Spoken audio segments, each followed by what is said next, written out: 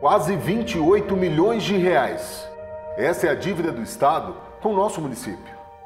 Recursos que deveriam ser investidos em infraestrutura e serviços à população e que até agora não chegaram.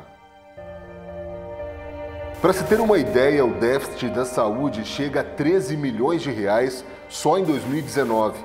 Dinheiro que poderia ser utilizado nas estratégias saúde da família e nas unidades de pronto atendimento.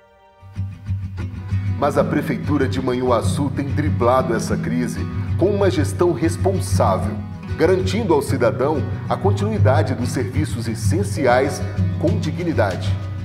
Porque mesmo diante dos desafios, o trabalho não para. Prefeitura de Manhuaçu. Ouvir para governar.